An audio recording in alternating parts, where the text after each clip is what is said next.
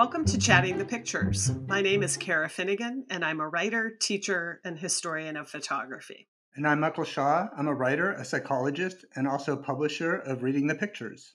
America's final exit from Afghanistan was almost as troubled and controversial as the war itself. But you would never know it based on this highly poetic and effective parting image produced and circulated by the U.S. military. This photo shows U.S. Army Major General Chris Donahue stepping on board a transport plane at the Kabul airport as the last U.S. soldier to leave Afghanistan. This photograph almost immediately became the image of the withdrawal. And that's both understandable and also problematic because it would appear to reduce 20 years of US presence to one man, one gun. Yeah, it's really the final example for me of how the military has overachieved in Afghanistan with its public relations the photograph manages to create both a sense of poetry and nostalgia. So, yes, it reduces 20 years down to one image, but in some ways, it also resets the focus from two weeks to 20 years.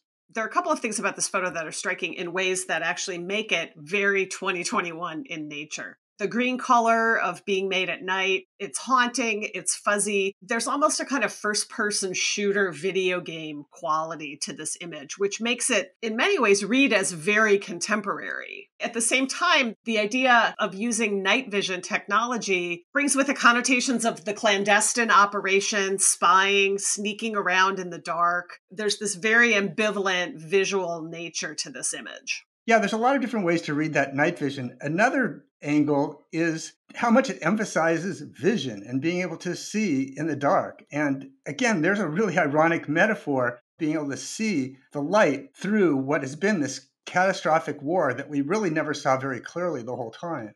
And this is an image full of a lot of them that you can read out. Metaphors, as you said, of vision, metaphors of leaving. One metaphor I see playing out here is the turning of your back. So Donahue is literally turning his back on Afghanistan to board this transport. I'm also interested in what is behind him in this image. There was a lot of news coverage about what equipment was being left behind to enable future operations at the airport, for example. So you also get the sense that the lights are still on, people are home, the equipment is still there. And so what is being left behind actually appears relatively orderly despite the sort of clandestine night vision haunting green nature of this image.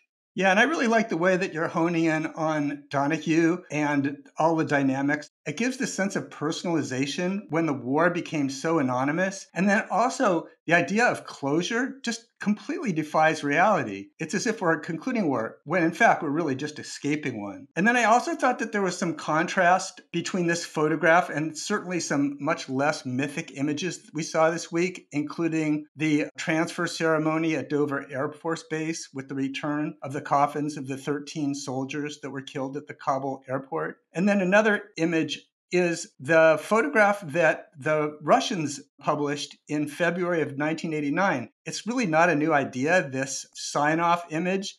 It's interesting that you talked about the figure of Donahue himself because he does represent, in a lot of ways, this longest war. His whole career has been associated with Afghanistan in some ways. There's another portrait, and it really is a portrait that was made of him at roughly the same time also with the night vision, so that haunting green aspect. And it is a formal portrait that really looked to me as if it was intended to evoke almost the formal Civil War era portraits. It's very formal looking, it's posed. These were images where the soldier would pose with their weapons of war and in their uniform. And the very formal, almost stoic nature of Donahue in that image really also, I think, amplifies what you're saying about the idea that this is really personalizing and individualizing what was, in fact, a very complex conflict.